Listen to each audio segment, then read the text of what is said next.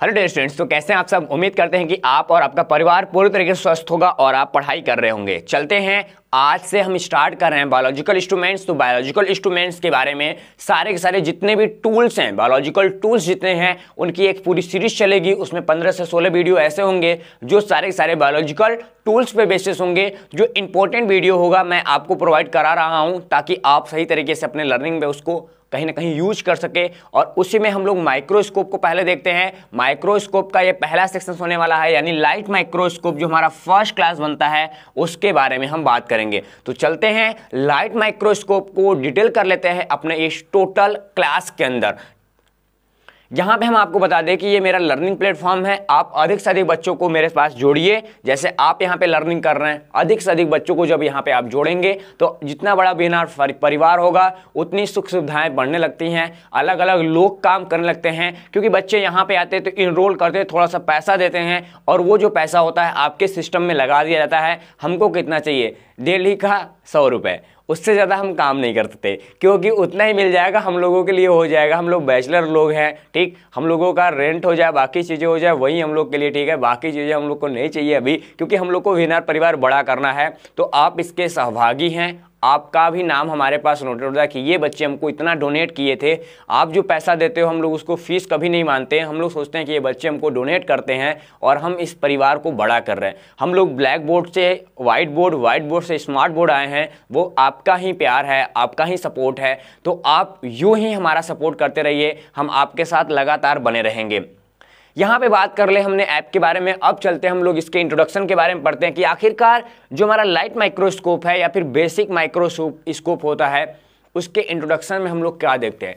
Introduction की ये बात करते हैं तो भैया जो हमारा माइक्रोस्कोप के बारे में बात करता है, जो हमारा माइक्रोस्कोप होता है, वो स्पेशलाइज्ड ऑप्टिकल इंस्ट्रूमेंट्स हैं। क्या हैं? ये विशेष प्रकाशीय उपकरण है। ये लाइन याद रखना कि ये प्रकाश का उपकरण है, यानी लाइट माइक्रोस्कोप बोल सकते हो, इसीलिए तो उसको बोल रहा है। यहाँ पे क्या बोल रहा है? ये स्पेशलाइज्ड यानी विशेष ऑप्टिकल इंस्ट्रूमेंट्स हैं मतलब प्रकाशीय उपकरण है, ठीक इसके बारे में बता रहा है। और ये स्पेशली किसके लिए काम करता है? ये किसी चीज़ को, यानी किसी भी सिस्टम को, किसी भी ऑब्जेक्ट को थोड़ा सा बड़ा करके, क्या? किसी भी नमूने को, किसी भी सिंपल को हम क्या करते हैं? किसी वस्तु के नमूने को अधिक से अधिक बड़ा करते हैं, आवर्धित कर देते हैं मैग्नीफाई कर देते हैं, ताकि वो और बड़ा होगा तो और उससे हम आसानी तरीके से देख सकते हैं। अब ये जो हमारा लाइट माइक्रोस्कोप है, पहले जो आता था, हम लोग उसको ऐसे मैग्नीफाई करके देखते थे, लेकिन अब जो आ गया है, वो फोटोग्राफी आ गया है, यानी डिजिटल माइक्रोस्कोप आ गए हैं। ये जो डिजिटल माइक्रोस्कोप आ गया है, इसमें हमको आँखों से देखना थोड़ा सा कम पड़ता है। जो हम स्लाइड नीचे लगाते हैं, हम बात करेंगे आगे। जो हम स्लाइड लगाते हैं, वो स्लाइड सही तरीके से विजुअल हो जाता है। हमारे लैपटॉप या आईपैड्स, यानी बाकी जो सिस्टम्स, हमारे ऑपरेटिंग सिस्टम्स हैं, उसमें वो विजुअल हो जाता है और हम अच्छे तरीके से लंबे समय तक देख सकते हैं, क्योंकि हम आँख लगा के देखते हैं। ठीक, ऐसे आई से तो काफ़ी लंबे समय तक हम उसको देख नहीं पाते और वो रिकॉर्डेड नहीं हो पाता। आँख हमारे कितने रिकॉर्ड करेगी? कुछ टाइम के लिए हम, हमको पता होगा कि ये चीज़ हमने देखा था, बट आप यदि किसी सिस्टम में, किसी ऑपरेटिंग सिस्टम से देख रहे हैं, वहाँ पे लंबे समय तक उस पूरे घटना को रिकॉर्ड कर सकते हैं और बाद में अपने स्टडी में ला सकते हैं। वही चीज़ यहाँ पे बोल रहा है कि हमारे पास जो हमारे निग्ड आई होती है, यहाँ से हम लोग सीन करते हैं, लेकिन हमारे पास जो ऑब्जेक्ट होते हैं, जो नमूने होते हैं, उसके इमेजेस को हम लोग सही तरीके से मैग्नीफाई करके या फोटोग्राफिक तरीके से लंबे समय तक तैयार करते हैं, ठीक, उसको देखते हैं। अब इसका जो डिज़ाइन होता है, वो बेस होता है हमारे विजुअल कंडीशंस पे। अब ऐसा माना जाता है कि हमारे इस लाइट माइक्रोस्कोप को हम लोग कंपाउंड माइक्रोस्कोप भी कहते हैं। क्या कहते हैं? कंपाउंड माइक्रोस्कोप कहते हैं। उसके पीछे रीजन है। देखो, बोल रहा ना कंपाउंड माइक्रोस्कोप बोलते हैं। क्यों? क्योंकि इसमें ढेर सारे वेरियर टाइप के टूल्स जो होते हैं, वो इंक्लूड होते हैं। केवल इसमें मल्टीपल लेंसेस ही नहीं, क्या? केवल इसमें मल्टीपल लेंसेस ही नहीं लगते। उसमें डिफरेंट डिफरेंट टाइप्स के क्या लगते हैं? डिफरेंट डिफरेंट टाइप्स के टूल्स यूज़ होते हैं। उसी डिफरेंट डिफरेंट टाइप्स के टाइप्स के टूल्स के वजह से हम लोग का जो लाइट माइक्रोस्कोप स्कोप होता है, हम लोग उसको कंपाउंड माइक्रोस्कोप भी बोल देते हैं और उसमें एक से ज़्यादा लेंसेस काम करती हैं। क्या करती है? एक से ज़्यादा लेंसेस काम करती हैं। ये चीज़ आप ध्यान देना। और उनको एक से ज़्यादा लेंसेस को इस प्रकार डिज़ाइन किया जाता है कि वो किसी भी नमूने के, किसी भी सैंपल्स को सही तरीके से मैग्नीफाई करने के लिए वो तैयार हो, ठीक? ये चीज़ ध्यान देना। और इनमें क्या होता है? यहाँ पे हमारे पास design featuring objective and condenser तो हमारे पास यहाँ पे क्या होगा? पूरे सिस्टम्स को जिस उद्देश्य के लिए हम लोग इसको डिज़ाइन कर रहे हैं, उसमें हमारे कंडेंसर होते हैं। क्या होते हैं? ऑब्जेक्टिव कंडेंसर होते हैं। But also constants a very simple single lens यानी इसमें एक सिंपल सा सिंगल लेंस लगा होता है। क्या? सिंगल लेंस का इंस्ट्रूमेंट्स होता है। और हैंड क्या कहते हैं? हैंड होल्डेड होता है। यानी हम आ, हाथों से सही तरीके से इसको इस्तेमाल कर सकते हैं पकड़ के ठीक? हम हाथों से पकड़ के इसको सही तरीके से इस्तेमाल कर सकते हैं। और ऐसा देखा जाता है कि हमारे such as a photography love हमारे पास क्या होगा? फोटोग्राफी लूप लगा होगा, ठीक? और यहाँ कॉमन मैग्नीफाई ग्लासेस होती हैं, यानी सिंपल सिंपल हमारे पास फोटोग्राफी प्लेट भी लगे होंगे और उसमें सिंपल सी ग्लासेस भी लगी होती हैं। और जो ये ग्लासेस लगी होती हैं, क्या होती हैं? ये ग्लासेस जो लगी होती हैं, ये ग्लासेस हमारे माइक्रोस्कोप के जितने भी मैग्नीफाई फीचर्स होते हैं, उसको सही तरीके से जस्टिफाई करती हैं। ये लाइन याद रखना, यानी बेसिक चीज़ें हैं। अब देखो जो हमारा प्रिंसिपल है, इसको पढ़ना पड़ता है, ये बेसिक है। प्रिंसिपल को ध्यान देना, इसमें कुछ छोड़े ना आपसे।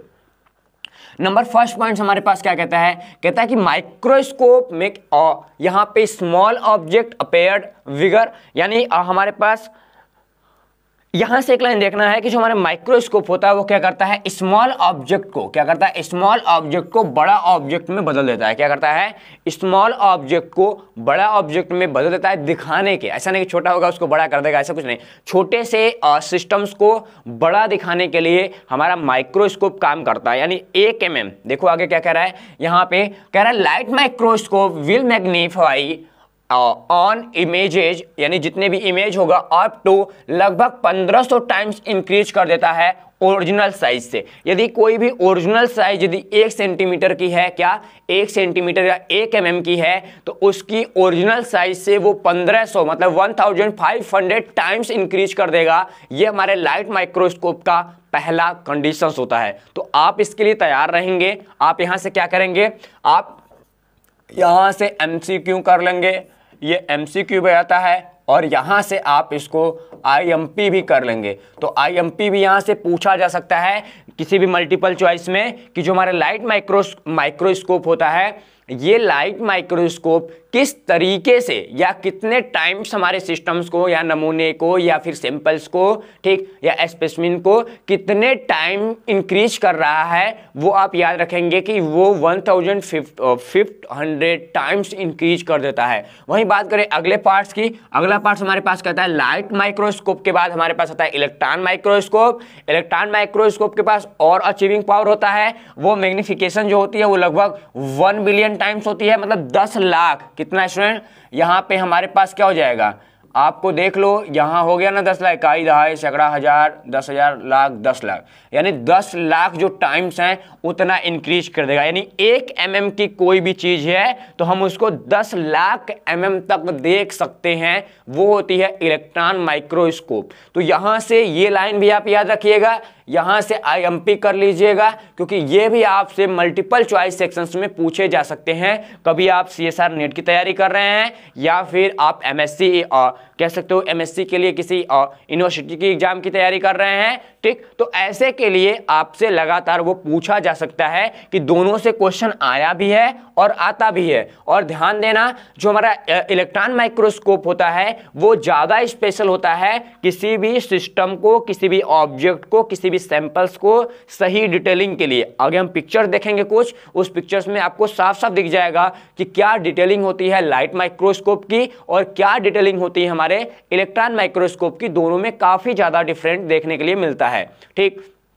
ये तो हमने बेसिक चीज़ें हुई। अब ये चीज़ देखते हैं कि जैसे जैसे हम आगे बढ़ते हैं, क्या जैसे जैसे हम आगे बढ़ते हैं, वैसे वैसे आता है कि यहाँ से, और जो सूक्ष्मदर्शी होता है, जो माइक्रोस्कोप होता है, हम उसको सरलता से प्रकट कर सकते हैं। क्या कर सकते हैं? काफ़ी सरलता से प्रकट करते हैं, और जो उसकी रिसॉल्विंग पावर्स होती है, वो भी काफ़ी ईजी होती है। क्या होती है? रिसॉल्विंग पावर भी काफ़ी ईजी होती है और छोटे से, यानी कह सकते हो कि यहाँ पे हम लोग काफ़ी स्मॉल डेंसिटी से सारे के सारे जो ऑब्जेक्ट होते हैं, उसको अप्रोच कर सकते हैं। यानी जितने भी हमारे स्मॉल जैसे हमारा माइक्रोस्कोप होता है, काफ़ी कम दूरी पे हम लोग उसको, कम दूरी होती है, लेकिन हम आँखों से देख रहे हो नीचे हमारा क्या है सिस्टम लगा हुआ है। हम उसको ढेर सारे मैग्नीफाई करके उसके ऑब्जेक्ट के मतलब ऑब्जेक्ट जो लगा है, उसकी मैग्नीफाई करके हम नंबर ऑफ़ टाइम्स उसके साइज़ को इंक्रीज करके ठीक? तो वहाँ से हम बढ़ा लेते हो। तो इसका मतलब यही है कि हम लोग स्मॉल डेंसिटी से सॉरी डिस्टेंस से हम लोग पूरे पूरे ऑब्जेक्ट को सही तरीके से अप्रोच कर पाते हैं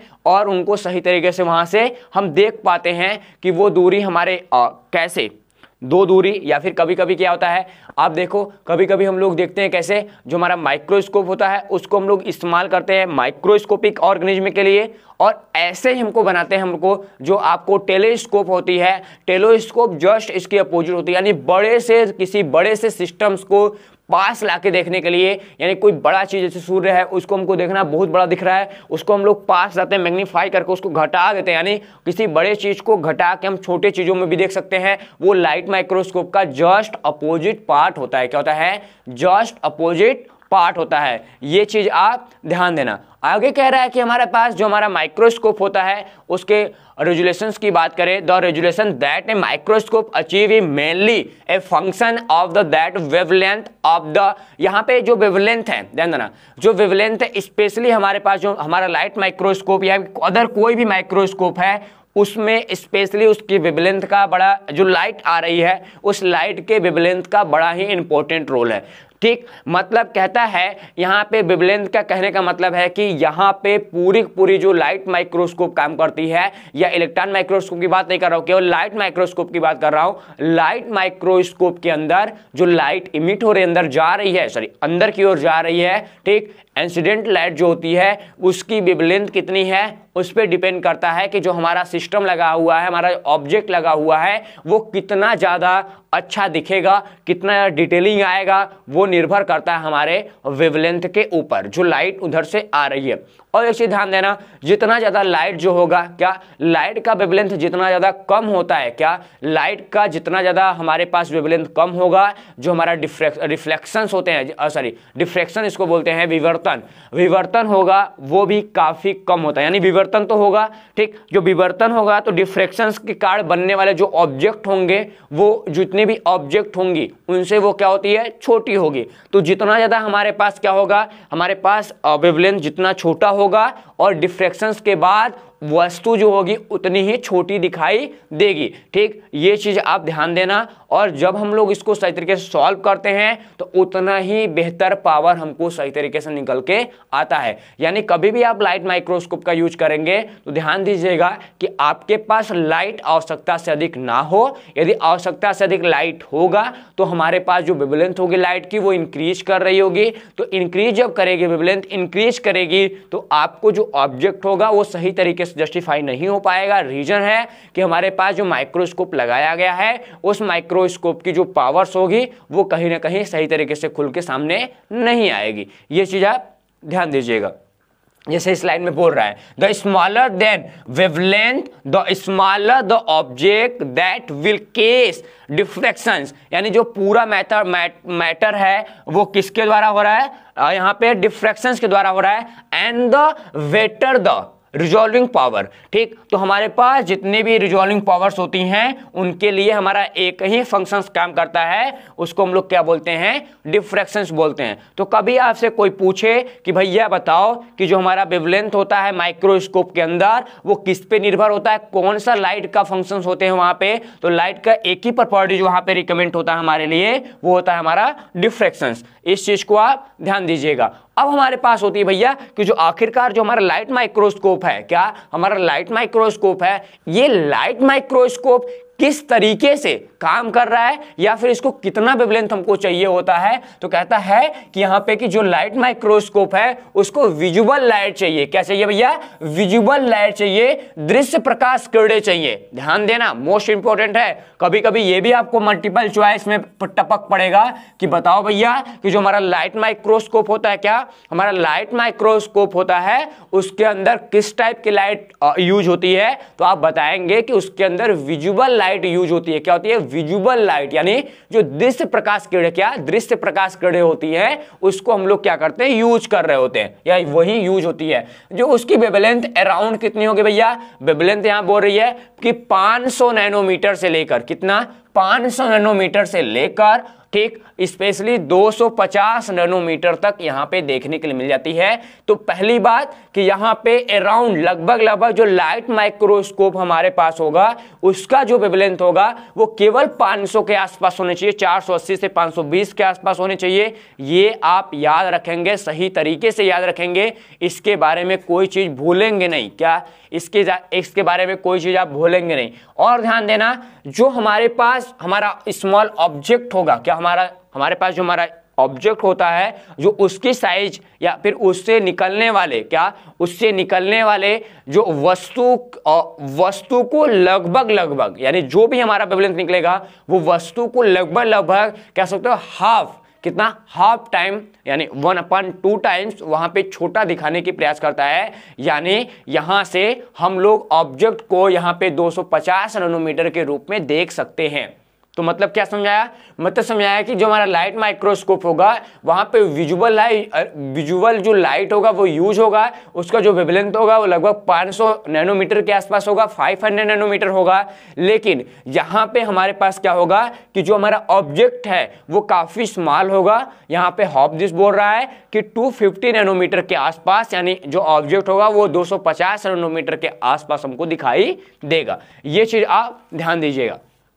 अब इतना ही आगे देखें कि आखिरकार इसका यूज़ कहाँ पे तो हम देखते हैं कि इसलिए इनका जो उपयोग होता है, क्या इसका जो उपयोग होता है, वो सबसे छोटी जो कोशिकाएँ होती हैं मतलब जो हमारे बॉडी की स्मॉलेस्ट सेल्स होती हैं, हम लोग सेल्स के इंट्रा सेलुलर स्ट्रक्चर्स यानी सेल के अंदर, जैसे मेरे पास ये कोई सेल हो गया, ठीक सपोज़ ऐसे कोई सेल हो गया, इसके अंदर ये न्यूक्लियस हो गया, ठीक? इसमें कोई पार्ट है क्या? इसमें कोई पार्ट है? तो सेल के अंदर वाले मटेरियल्स को, इसको बोलते हैं, क्या बोलते हैं इसको? इंट्रासेलुलर स्ट्रक्चर्स को, या फिर जो ऑर्गेनेल्स हैं, उनको हम लोग देखने की कोशिश करते हैं।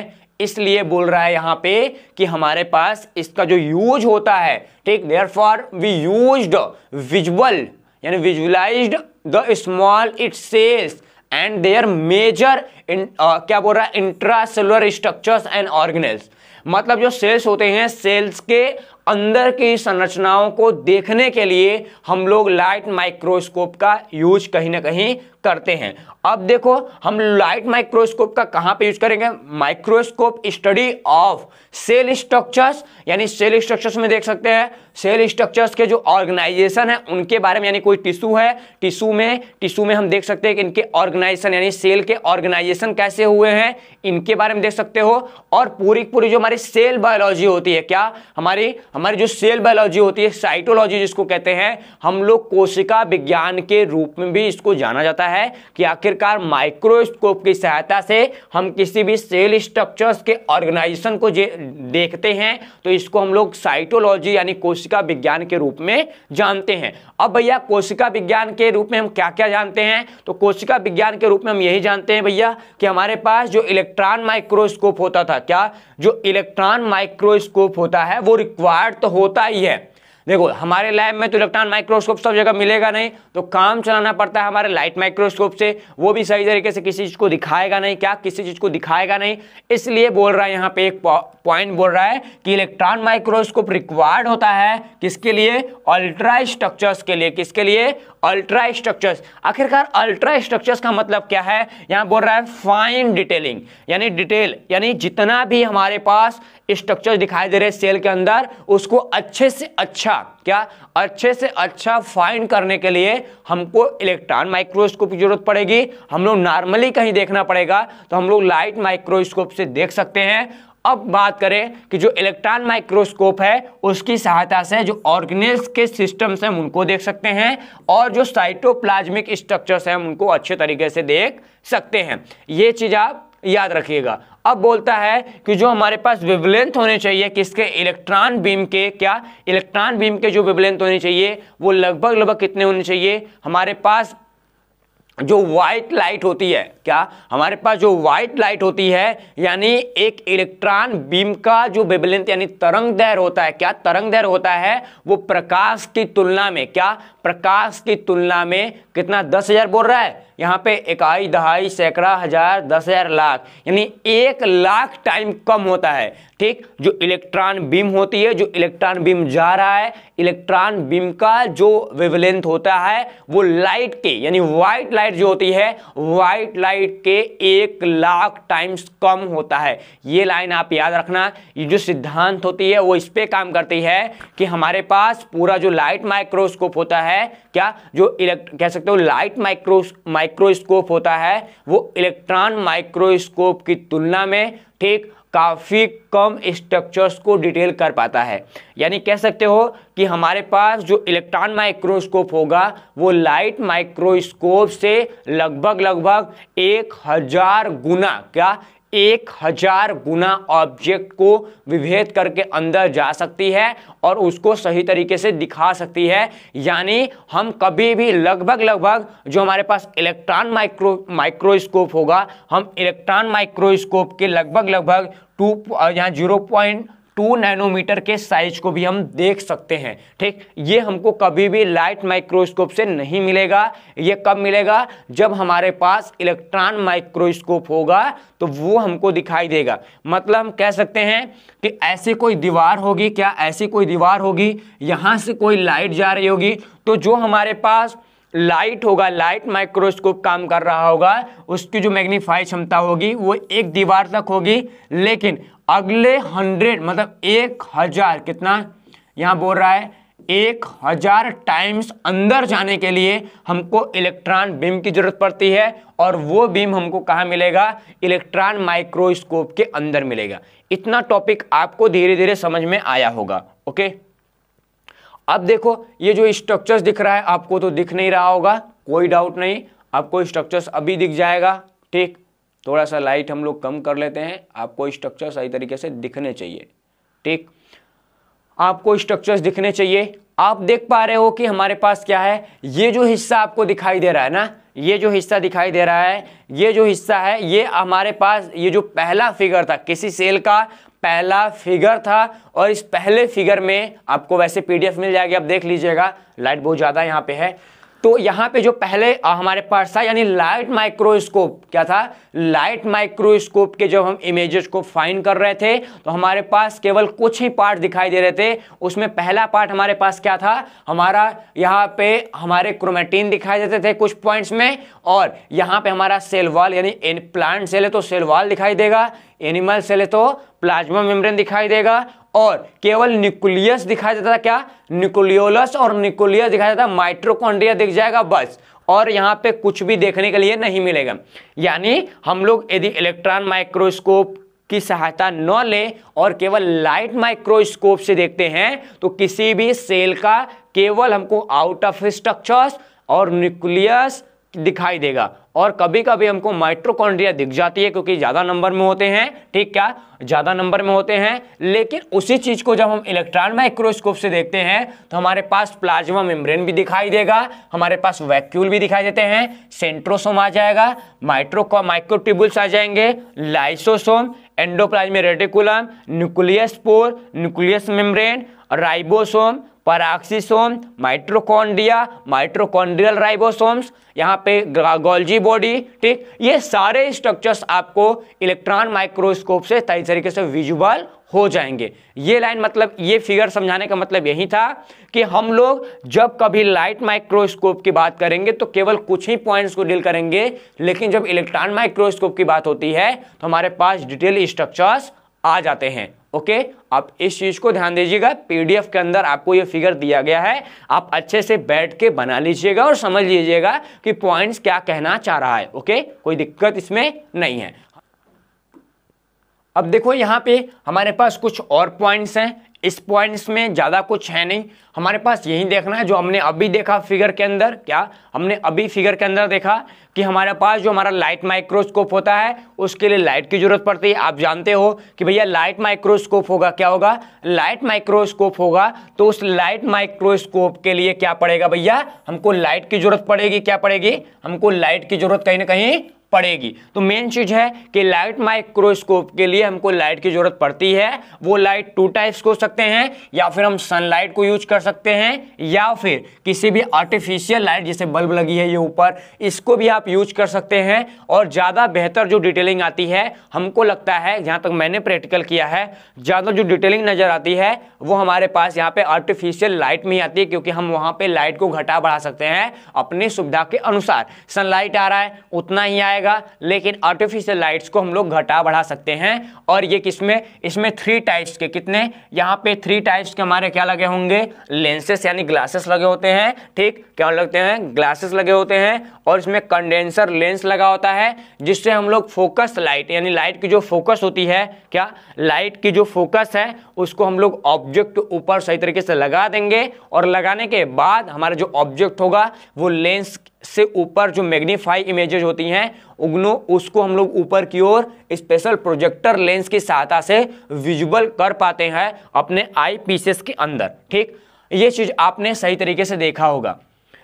मतलब ये स्टूडेंट्स हैं कि इस पॉइंट्स में हमको यही डील करना था कि हमारे पास जो लाइट माइक्रोस्कोप होगा, उसको लाइट की ज़रूरत पड़ेगी और ये जो लाइट होगी वो टू टाइप्स की हो सकती है, या फिर हम सनलाइट को यानी नेचुरल लाइट को यूज़ करें, या फिर हम लोग आर्टिफिशियल लाइट को यूज़ करें और यहाँ पे तीन टाइप के लेंसेज लगे होते हैं। पहला कंडेंसर होता है और दूसरा हमारे पास एक फोकल लेंस होगा और एक बार हमारे पास आई पीसेस होते हैं और ये तीनों की सहायता से हम लोग किसी भी इमेजेस को सही तरीके से देख पाते हैं और उसको बड़ा करके अच्छे तरीके से हम लोग अपने आँखों तक पूरा पहुँचा सकते हैं, ठीक? और यहाँ पे डिपेंड करता है फोकल लेंस पे कि आखिरकार ढेर सारे आपने देखा होगा कि आपके लैब के बॉक्स में वेरियस टाइप के लेंस लगे होते हैं। ये जो लेंस होते हैं वेरियस टाइप के लेंस ये जो फोकल लेंस होता है, वो फोकल लेंस को अरेंज करने के लिए अलग अलग कह सकते हो अलग अलग सिस्टम्स को देखने के लिए हम लोग वहाँ पे अलग अलग टाइप्स के लेंस को यूज़ करते हैं मैग्निफिकेशंस को अचीव करने के लिए। ये ध्यान देना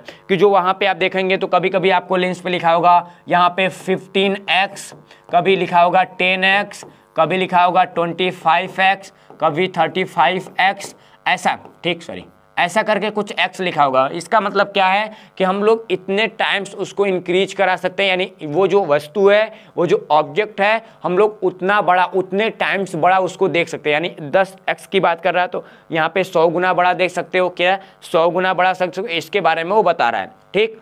और ये चीज़ आगे देखो यहाँ पे होती है कि पूरी पूरी जो माइक्रोस्कोप होती है, वो ब्राइट फ़ील्ड सिस्टम पे काम करती है क्या? यहाँ पे ब्राइट फ़ील्ड माइक्रोस्कोप जो आँखों तक पहुँचने वाली स्पेशली और हमारी वाइट और कलर होती है, क्या होती है वाइट कलर होती है, वो कम रंग की होती है, इसलिए जो हमारी जो कोशिकाएँ होती हैं, उसको कम एब्जॉर्व करते हैं, इसलिए हम जो, हमारे जो सेल्स होते हैं, हम लोग उसको, क्या कहते हैं स्टेनिंग करते हैं, यानी अभिरंजित करेंगे अलग अलग कलर की सहायता से क्या करेंगे, उसको कलर करते हैं, ताकि जब रंगीन हो जाएगा तो हमारे पास सही तरीके से और डिटेलिंग आएगी, हम लोग और सही तरीके से उसको देख पाएँगे। ये चीज़ आप ध्यान रखिएगा, ठीक? तो ये बाकी चीज़ें वही हैं कि मतलब हमको क्या करना पड़ेगा? यदि हम लोग को साइटो लॉजी पढ़नी है। क्या? साइटोलॉजी पढ़नी है। तो हमको साइटोकेमिस्ट्री भी पढ़ना पड़ेगा। यानी यहाँ पे अलग अलग पिक्चर्स को देखने के लिए अलग अलग कलर यूज़ होते हैं। हम आगे किसी वीडियो में आपको डिटेल करेंगे आपको कि किस किस कलर के लिए,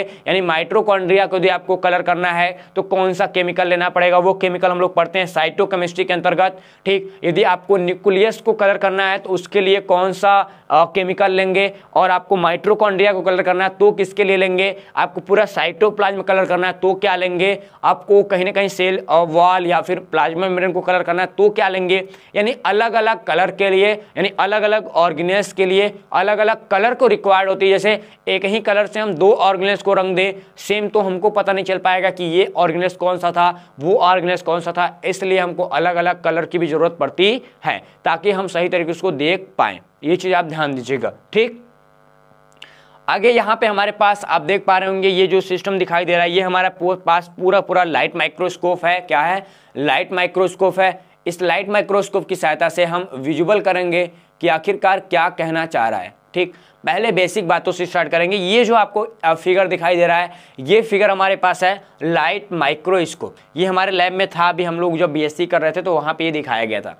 ये आपके पास लैपटॉप है। मतलब इसके अंदर कोई स्लाइड रखा गया है। ये जो स्लाइड है, किसकी स्लाइड है? यहाँ पे जो स्लाइड रखी गई है, ये स्लाइड आपके ब्लड की ब्लड टिश्यूज़ की है। किसकी है? ब्लड टिश्यूज़ की स्लाइड रखी गई है। ब्लड हमारे पास है। क्या है? कनेक्टिव टिश्यूज़ है। यहाँ पे जो दिखाई दे रहा है, ये क्या है? ये हमारे ब्लड है। क्या है? ये हमारे ब्लड दिखाई दे रहा हैं। भैया, ये हमारे ब्लड जब दिखाई दे रहे हैं, इसमें आप देख पा रहे होंगे कि इसमें यहाँ पे क्या लगा? एक लेंस यहाँ लगा है, एक लेंस यहाँ लगा है और इसके अंदर एक कंडेंसर लगा हुआ है। तीन जगह लगा होगा, ठीक? हम देखेंगे अभी कि कंडेंसर कहाँ होगा और कहाँ से हम लोग देखेंगे। पहली बात कि हमको लाइट देना पड़ेगा। यहाँ पे जो दिखाया गया है, यहाँ पे जो लाइट दिया जा रहा है ना, यहाँ पे तो सिस्टम इसके लिए लगाया गया है, लेकिन यहाँ पे आप कह सकते हो कि इसके अंदर से ऊपर हम लोग लाइट क्या देंगे? लाइट सोर्सेस देंगे। क्या देंगे? लाइट सोर्स देंगे। ये लाइट सोर्स किस लिए? ये लाइट सोर्स इसलिए कि ताकि हम लोग ऊपर से ऑब्जेक्ट को सही तरीके से जस्टिफाई कर सके। ये लाइट कैसा होगा? ये लाइट हमारे पास टू टाइप्स का होगा हमने आगे देखा, वो लाइट हमारे पास आर्टिफिशियल भी हो सकता है, वो लाइट हमारा नेचुरल भी हो सकता है। तो ऊपर से हमने लाइट दिया। अब जैसे ही लाइट दिया तो इसके अंदर हमने बोला ना कि क्या पाया जाएगा? हमारे पास कंडेंसर होंगे। क्या होंगे? भैया कंडेंसर देखने को मिल जाएगा। ठीक? अब कंडेंसर से, ध्यान देना कंडेंसर से हमारा यहाँ पे क्या लगा होगा? स्पेशली यहाँ पे एक सिस्टम लगा होगा ना? क्या लगा होगा यहाँ पे? यहाँ पे हमको देखो, यहाँ पे हमारा एक स्लाइड लगा होगा। ठीक ऑब्जेक्ट होगा या नमूने कह सकते हो कि यहाँ पे हमको नमूना ये जो आपको मैंने कलर कर दिया, यहाँ पे हमने क्या देखा? यहाँ पे नमूना रखा गया है। तो आप यहाँ से रखेंगे, जो लाइट्स होगा, वो इस पूरे ऑब्जेक्ट से नीचे आएगा। ऑब्जेक्टिव लेंस यानी यहाँ पे जो लगा गया है, ये जो स्ट्रक्चर्स आपको दिखाई दे रहा है, इसको क्या बोलते हैं? ऑब्जेक्टिव लेंस बोलते हैं। ऑब्जेक्टिव लेंस पे पड़ेगा। बात इतना पक्का है, जैसे ऑब्जेक्टिव लेंस पे पड़ेगा, इधर प्रोजेक्टर लेंस होता है, क्या होता है? प्रोजेक्टर लेंस लगा होता है, ठीक? क्या लोग कहते हैं? प्रोजेक्टर लेंस लगे होते हैं। और ये प्रोजेक्टर लेंस की सहायता से हम लोग इमेजेस को डायरेक्टली विजुअल विजुअल कर सकते हैं, देख सकते हैं। और यहाँ पे मिरर, एक छोटा सा मिरर होता है, क्या होता है? मिरर होता है। हम लोग मिरर की सहायता से भी कहीं ना कहीं फिगर को पुटा मतलब बाहर की ओर देख सकते हैं। अब हमारे पास, ठीक हमारे पास जो हमारा प्रोजेक्टर लेंस होता है उसके नीचे लगा दिया था कैमरा क्या? उसके नीचे लगा देते हैं हम लोग कैमरा अब जैसे देखो इसके नीचे हमारा क्या लगा होगा? कैमरा लगा होता है। ठीक? जो कैमरा नीचे से देख, ऐसे देखो ऐसे ऐसे ऊपर ऊपर देखेगा ना? कैमरा ऊपर की ओर देखता है और पूरा जो इसके अंदर मतलब जो हमारा स्पेशली सिंपल था सैंपल था सैंपल यानी स्लाइड जो था स्लाइड में जो भी घटनाएँ हो रही हैं उस घटनाओं को हमारा कैमरा क्या करता है? जितने भी इमेजेज होते हैं उसको कैप्चरिंग सिस्टम यानी पूरी जो कैप्चर सिस्टम्स होती है या कंप्यूटर सिस्टम कह सकते हो, कैप्चरिंग सिस्टम जो भी आप इस्तेमाल कर रहे हैं, कंप्यूटर यूज़ कर रहे हैं, लैपटॉप यूज़ कर रहे हैं, मोबाइल फ़ोन यूज़ कर रहे हैं, जो भी यूज़ कर रहे हैं, हम लोग उसमें सही तरीके से उसको देख पाते हैं और वहाँ से डिस्प्ले मॉनिटर के अंदर डाल सकते हैं। यानी कहने का मतलब है कि सबसे पहले हम पे लाइट पड़ेगी, वो कंडेंसर ले, यहाँ पे हमको लाइट देखने के लिए मिलेगी। अब यहाँ पे लाइट है, लाइट कहाँ जाएगी? भैया, कंडेंसर लेंस के अंदर जाएगी। अब जब कंडेंसर लेंस के अंदर आएगी तो ये स्पेशली नीचे की ओर जाएगी, क्या? नीचे की ओर जाएगी, ठीक? अब ये कंडेंसर लेंस ये जो कंडेंसर लेंस दिखाई दे रहा है, पहले इसको मिटा ले आपको। ठीक। यहाँ पे क्या है? कंडेंसर लेंस से लाइट नीचे आई, ठीक। हमारे पास हमारे पास जैसी कंडेंसर लेंस नीचे आएगी तो यहाँ पे क्या रखा रहेगा? ऑब्जेक्ट रखा रहेगा। ठीक? ऑब्जेक्ट से लाइट फिर नीचे जाएगी। यहाँ पे ऑब्जेक्टिव लेंस की तरफ़। कहाँ पे? ऑब्जेक्टिव लेंस की तरफ़। ऑब्जेक्टिव लेंस से हम प्रोजेक्शन प्रोजेक्टर लेंस यहाँ पे होता है बगल में। ठीक? क्या? बगल में हम प्रोजेक्टर लेंस देते हैं। प्रोजेक्टर लेंस की सहायता से हम देख सकते हैं। ठीक? अब उसके ठीक नीचे यहाँ पे आपको कैमरा लगा होगा। क्या लगा होगा? कैमरा लगा होगा, जो क्या करेगा? इमेजेस को प्रोसेसिंग कर देगा। यहाँ पे कंप्यूटर सिस्टम में, यानी ये इसको कंप्यूटर सिस्टम में दे देगा। अब हमारे पास ये जो डिस्प्ले है, आप डिस्प्ले में सिस्टम को सही तरीके से देख सकते हैं। ऐसा कुछ स्ट्रक्चर्स होते हैं हमारे माइक्रोस्कोप में, कौन से? लाइट माइक्रोस्कोप के बारे में। ठीक? ये चीज़ आप ध्यान दीजिएगा। अब हमारे पास सिंपल चीज़ों की बात करें, यदि आपके स्कूल में या फिर कहीं भी आप इस वाले को देखे होंगे नॉर्मल तरीके से, देखना, इसको बोलते हैं हम लोग प्रोजेक्टर लेंस ठीक? देखो, वो थोड़ा स्ट्रांग था। ये हमको प्रोजेक्टर लेंस होता है, यानी ऊपर ऊपर जो हमारे पास ऐसे देखते हैं ना, जो आई स्पोस होता है, उसको हम लोग क्या बोलते हैं? प्रोजेक्टर लेंस यानी उसे प्रोजेक्ट कर रहे हैं। अब हमारे पास यहाँ क्या है? यहाँ प्रोजेक्टिव क्या होता है? प्रोजेक्टिव लेंस लगा होता है। ठीक, क्या लगा होता है यहाँ पे प्रोजेक्टिव लेंस लगा होता है और यहाँ पे हम लोग क्या करते हैं, यहाँ पे एक होल्डर होते हैं दो, अब उसको पकड़ के ऊपर उठा लेना और इसके अंदर हम लोग क्या करेंगे, पूरे पूरे सिस्टम जो भी आप सैंपल लिए हैं, जो भी स्लाइड लिए हैं, उसके अंदर डाल देंगे और ठीक इसके नीचे यहाँ पे लगा होता है कंडेंसर लेंस। क्या लगा होता है? कंडेंसर लेंस लगा होता है और हम लोग नीचे से क्या देते हैं, लाइट सोर्सेज। इसमें जो हम क्या देंगे, इसमें नीचे से हम क्या कहते हैं, लाइट सोर्सेज देते हैं। जब हम लोग नीचे से लाइट सोर्सेज यहाँ पे देंगे। और यहाँ पे हमारे पास क्या होगा? फोकसिंग और सिस्टम्स होती है। हम लोग उसको घटा बढ़ा सकते हैं। तो ये आपके लैब में देखने को मिलेगा। लेकिन ये भी लैब में देखने को मिलता है। लेकिन सब जगह देखने के लिए नहीं मिलता। क्या? सब जगह ये देखने के लिए मिलता है। ये केवल लेबोरेटरी बड़े बड़े लेबोरेटरियों में यूज़ होती है। ठीक? ये चीज़ आप ध्यान दीजिएगा।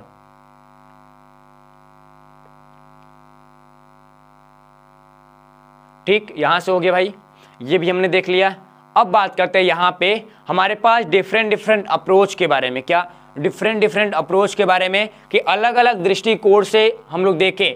क्या अलग अलग दृष्टिकोण से हम लोग देखते हैं? यही देखते हैं कि हमारे पास जितने भी लिविंग सेल्स होते हैं, क्या लिविंग सेल्स होते हैं, हम लोग लिविंग सेल्स को सही तरीके से प्रूफ करने के लिए या फिर कह सकते हो कि यहाँ पे जीवित कोशिकाओं के लागू किया जाता है, लेकिन ये लोग, हम लोग यहाँ पे क्या करते हैं स्पेशली फ़ेज़ इलेक्ट्रॉन माइक्रोस्कोप का सहायता लेते हैं। तो आपको ये चीज़ पता होना चाहिए कि हम लोग क्या करेंगे फ़ेज़ इलेक्ट्रॉन माइक्रोस्कोप की सहायता लेते हैं। कहाँ पे? किसी भी लिविंग सेल्स को जानने के लिए। तो ये बातें याद रहेगी कि कभी भी आपको जानकारी लेनी है सेल लिविंग सेल्स के बारे में तो आप लाइट माइक्रोस्कोप का यूज़ नहीं करेंगे, वहाँ पे मर जाएगा काम। यानी सेल्स हमारे क्या होंगे वो? मर जाएँगे। तो आप किसका इस्तेमाल करेंगे? फ़ेज़ इलेक्ट्रॉन माइक्रोस्कोप का। कि हमारे पास जो फ़ेज़ कंट्रास्ट माइक्रोस्कोप होता है, वो क्या होता है? उसकी जो रूलिंग्स होती हैं, वो क्या होती हैं? उसके बारे में हमको देखना होगा। क्योंकि बेटा, यहाँ पे सिंपल तरीके से क्या है कि जो अलग अलग जो डिफरेंट डिफरेंट यूज़ और सॉरी डिफरेंट डिफरेंट स्पीड होती है लाइट की, वो हम अलग अलग ऑर्गेनिल्स पे लगा सकते हैं, ठीक? और अलग अलग कंपोजिशंस में हम लोग लाइट को यूज़ कर सकते हैं, ताकि हमको अलग अलग फ़ेज़ की बात करें अलग अलग फ़ेज़ फ़ेज़ कंट्रास्ट, बोलते ना, फ़ेज़ कंट्रास्ट के रूप में हम लोग यूज़ करते हैं उसको, ताकि हम लोग सही तरीके से लाइट को ट्रेवलिंग जो पोजीशंस हैं, उनको हम लोग यूज़ कर पाएँ और अच्छे तरीके से देख पाएँ। क्योंकि देखो, सेल के अंदर, क्या सेल के अंदर पूरी जो लाइट्स होती है, वो किस स्पीड से जा रही है, उसी स्पीड से हमारा अंदर की जो मटेरियल है, वो विजुअल हो पाएँगे या नहीं हो पाएँगे, वो कौन डील कराएगा? हमारा सेल के अंदर लाइट जा रहा है, जो वही बताएगा कि हमारा सेल के अंदर जो स्ट्रक्चर है, वो विजुअल होगा कि नहीं होगा, वो हमारे पास माइक्रोस्कोप पे ही डिपेंड करता है कि वो कितना लाइट अंदर की ओर ले रहा है। ठीक? अब ध्यान देना, यहाँ पे कभी कभी क्या होता है कि जो हमारे पूरे सिस्टम्स बनाए जाते हैं, कभी उल्टे बनाए जाते हैं, कभी सीधे बनाए जाते हैं। यानी हम लोग देखें कि लैब के अंदर, ध्यान देना, अभी तुमको दिखा रहा हूँ जैसे ये जो सिस्टम आप देखे थे, ये सिस्टम ऊपर की ओर था। यानी प्रोजेक्ट जो यहाँ पे प्रोजेक्शन लेंस था या प्रोजेक्टर लेंस था, वो ऊपर की ओर था, लेकिन यहाँ पे जो प्रोजेक्टर लेंस लगाया गया है, वो कहाँ? नीचे की ओर लगाया गया है। यानी हम लोग इधर से देखेंगे और ऊपर की तरफ़ हमको समझ में आएगा। यानी कई तरीके से कह सकते हो क्या? कई तरीके से लोगों ने उल्टे सीधे रूप में इसको यूज़ करते हैं। वो केवल हमारे जो पूरे ऑपरेटिंग सिस्टम्स होते हैं, यानी माइक्रोस्कोप होते हैं उस पर डिपेंड करता है कि वो किस प्रिंसिपल पे बनाया गया है। वो नीचे से लाइट ले रहा है कि ऊपर से लाइट ले रहा है, इससे कोई मतलब नहीं है। कभी कभी जो माइक्रोस्कोप होते हैं, वो नीचे से लाइट लेके ऑब्जेक्ट को जस्टिफाई करते हैं और जो हमारा प्रोजेक्टर लेंस होता है, वो ऊपर होता है। कभी कभी हम ऊपर से लाइट लेते हैं और जो प्रोजेक्टर लेंस होता है, वो नीचे होता है। तो इससे डिपेंड नहीं करता कि आप कौन से माइक्रोस्कोप की सहायता से पूरे सिस्टम को देख पा रहे हैं। ठीक? ये आप ध्यान दीजिएगा। आपको देखो, ये कुछ स्ट्रक्चर दिखाई दे रहे हैं। इस स्ट्रक्चर्स में आपको दिखाएगा, ये ब्राइट फ़ील्ड माइक्रोस्कोप है। क्या? ये हमारे पास क्या है? लाइट माइक्रोस्कोप है। क्या है? लाइट माइक्रोस्कोप है। अब बताओ स्टूडेंट्स आप क्या लाइट माइक्रोस्कोप के अंदर आप मतलब सही तरीके से आप देखो जो हमारे सेल्स हैं, उनको सही तरीके से जस्टिफाई नहीं कर पा रहे हैं। पूरे धुधले धुधले दिखाई दे रहे हैं। जैसे यहाँ पे देखो, यहाँ पे हमको कैसे दिखाई दे रहा है? धुधला धुधला दिखाई दे रहा है। भैया, ये जो धुधले धुधले मतलब इसमें हम लोग स्पेशली क्या? फेनिन हमारे पास होता है फॉर्मेलिन जो होता था, उसको ऐड करने के बाद दिखाई दे रहा है। यानी हम लोग नॉर्मली स्ट्रक्चर्स देखे दोनों फिगर को ए एंड बी ठीक? मतलब ए एंड बी को बात करें, दोनों में हमको स्ट्रक्चर्स को डिफाइन नहीं कर पा रहे हैं, लेकिन जो हमारा फ़ेज़ कंट्रास्ट माइक्रोस्कोप होता है, हम लोग वहाँ पे सेल को काफ़ी अच्छे तरीके से डिटेलिंग कर पा रहे हैं। क्या कर रहे हैं? सेल को काफ़ी अच्छे तरीके से डिटेलिंग कर रहे हैं। ये दोनों पिक्चर्स हमने स्पेशली आपके पूरे पूरे कह सकते हो माइक्रोस्कोप से ही उठाया है। एक हमारे पास जो ऊपर है, वो हमारे पास ब्राइट फ़ील्ड माइक्रोस्कोप है, यानी लाइट माइक्रोस्कोप है। और यहाँ पे हमारे पास क्या है? फ़ेज़ कंट्रास्ट माइक्रोस्कोप के बारे में बात कर रहा है। यानी दोनों माइक्रोस्कोप यहाँ से बताया गया है। अब हमारे पास क्या आता है? यहाँ से कुछ स्पेशली सिस्टम्स आते हैं। यानी कुछ ऐसे डिफिनीशंस आएँगे। इसको ध्यान देना बड़ा ज़रूरी है। इसलिए मैंने लास्ट में रखा था, पहले बता देता अब ये देना है कि ये कुछ चार पाँच पीपीटी आएँगे आपके सामने और इस पीपीटी में हमने यही यूज़ करने की कोशिश किया है कि जितने भी इक्वेशंस हैं, जितने भी ऐसे कंडीशन हैं टर्म हैं, जो माइक्रोस्कोप के अंदर काम करते हैं, उनको यहाँ पे लगा, लगाया गया है। तो सबसे पहले अब्बे समीकरण। ये जो भैया अब्बे समीकरण होता है, ये क्या करता है? ये हमारे माइक्रोस्कोप की जो कह सकते हो थ्योरिकल कहते हैं ना, यहाँ पे थ्योरिकल जो रिसोल्यूशंस होते हैं क्या? थ्योरिकल रिसोल्यूशंस होते हैं लाइट माइक्रोस्कोप को, उसको पता लगाने के लिए किया जाता है। यानी ये इक्वेशंस के बेसिस पे ऐसे इक्वेशंस होते हैं, जिस पे हम लोग सही तरीके से लाइट माइक्रोस्कोप को जस्टिफाई करते हैं। उसके बाद एब्जॉर्प्शन की बात करें, भैया एब्जॉर्प्शन क्या है? यहाँ पे कहता है जो लाइट होगा, उसको क्या करेगा? ये रिड्यूस करेगा, यानी बाहर, यानी स्पेशली जो हमारे पास अवशोषण होता है, वो रंग और घनत्व के आधार पर क्या? रंग और घनत्व के आधार पे कहीं बोल रहा होगा ऊपर, ठीक? कहाँ पे? Depending on colour and density ठीक? रंग और कलर के आधार पे हमारे पास क्या होता है? ये लाइट को, क्या चुनिंदा प्रकाश को कम करता, कम हो जाता है और माध्यम से गुजार देता है। मतलब एब्जॉर्प्शन जो होते हैं, वो लाइट को कहीं ना कहीं एब्जॉर्व करेगा और शोषण करेगा। किसके बेसिस पे? वो स्पीड पे और सॉरी कलर पे और डेंसिटी के बेसिस पे लाइट को एब्जॉर्व करता है और बाकी लोगों को क्या करेगा? छोड़ देगा कि तुम जाओ तुम्हारा कोई ज़रूरत नहीं है। इसलिए हमारे जो माइक्रोस्कोप होते हैं, वहाँ पे एग्जॉर्प्शन का बड़ा रूल है कि हमारा कितना लाइट आ रहा है, हमको उतना ही कलर का लाइट लेना है, बाकी लाइट को छोड़ देना है, क्योंकि जब बाकी लाइट को नहीं छोड़ेंगे भाई साहब, जो लाइट रुकेगा, वही कलर हमको कहीं ना कहीं विजुअल होगा, यानी कहीं ना कहीं अवशोषण वहाँ पर हो रहा होगा। अब बात करते हैं यहाँ पे ब्राइट फ़ील्ड माइक्रोस्कोप की, यानी स्कोपी की। आखिरकार ये ब्राइट फ़ील्ड माइक्रोस्कोपी क्या है? ये लाइट प्रोसेस होती है डायरेक्टली थ्रू आउट हमारे जो पूरे पूरे सैंपल्स होते हैं, उनको सही तरीके से स्टैनिंग जो होती है स्टैनिंग रिक्वायर्ड स्टैनिंग यानी ये है कि जो प्रकाश होती है वो सीधे नमूने से होकर गुजरती है क्या? सीधे हमारे एस्पेसमिन जो होती हैं, उससे गुजरती हैं। जब उससे हमारा लाइट गुजरता है तो आम तौर पे वो पूरा धुंधला हो जाता है। क्या? पूरा धुंधला हो जाता है और इन धुंधलेपन की आवश्यकता जो होती है आपको, क्या धुंधलेपन की जो आवश्यकता होती है, उससे बचने के लिए ठीक हम लोग यहाँ पे कह सकते हो कि हम लोग यहाँ पे ब्राइट फ़ील्ड माइक्रोस्कोपी की ज़रूरत पड़ती है। यानी हम लोग ये डील डील करते हैं कि जब लाइट स्पेशली डायरेक्टली किसी भी स्पेसमिन में क्या करेगा? डायरेक्टली वहाँ पे जाएगा तो हमारे पास रिक्वायर्ड्स जितने भी रिक्वायर्ड्स हमारे स्टैंडिंग होती हैं, उनको कहीं ना कहीं ज़रूरत पड़ती है, यानी धुजला कंडीशंस उनको दिखाई देगा। अब हमारे पास क्या होता है यहाँ पे? स्पेशली यहाँ पे क्रोमेटिक हमारे पास एब्रेप्शन की बात कर रहा है तो क्रोमेटिक एब्जर्शन क्या है? एब्रेप्शन इनकी बात करें तो ये क्या करते हैं, ये केस्ट हैं लाइट हमारे जो लाइट वेव होते हैं, उनको डिफरेंट डिफरेंट क्या? जो लाइट वेव होते हैं, यानी एक ही लेंस से, क्या?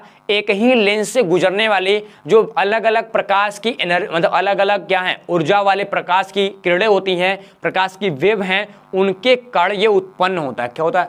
उनके कण उत्पन्न होता है, ये चीज़ आप ध्यान देना।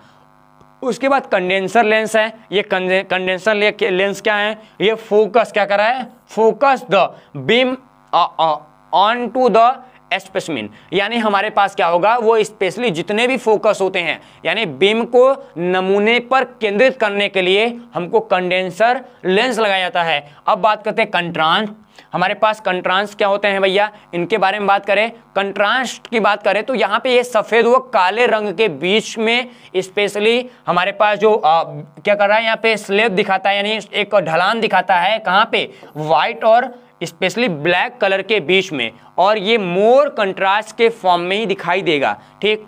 और यहाँ पे कुछ हमारे पास आता है तो ये आप पूरा देख लेना। ये हम आपको छोड़ दे रहे हैं, पीपीटी के अंदर आपको मिल जाएगा। तो आप इसको सही तरीके से यहाँ से आप देख सकते हैं, ठीक? और कुछ है मैग्निफिकेशन किसको बोलते हैं? मैग्निफिकेशन का मतलब डिटेलिंग से लिया गया है। जितना मैग्निफिकेशन अच्छा होगा, उतना डिटेल हम कर सकते हैं, ठीक? और बाकी जो सिस्टम्स हैं, आप एक बार देख लो, सब में आपको समझ में आएगा। ऑब्जेक्टिव लेंस क्या है? ये प्राइमरी लेंस होते हैं किसको? इमेजेस को सही तरीके से मैग्नीफाई करने के लिए, ठीक? और फ़ेज़ कंट्रास्ट माइक्रोस्कोपी क्या है? रिजुअल डिटेलिंग के लिए होता है। काफ़ी अच्छा डिटोल मतलब सॉरी डिटोल डिटेल्स के लिए हम लोग कहीं ना कहीं वेवलेंथ को चेंज करते हैं। उसके अलग अलग फेजेस पे लाइट जो लाइट पथ होती है ना लाइट की जो डायरेक्शंस होती हैं लाइट के डायरेक्शंस पे लाइट के डायरेक्शंस को हम लोग चेंज करके अलग अलग वेवलेंथ को जब चेंज करते हैं, ठीक तो हमारा जो पूरा ऑब्जेक्ट होता है, उसकी काफ़ी अच्छी डिटेलिंग आ जाती है, ठीक, हम लोग इसको यूज़ करते हैं। तो अब देखो, यहाँ पे वेवलेंथ है वेवलेंथ के बारे में आप जान ही रहे हो, और कुछ था नहीं।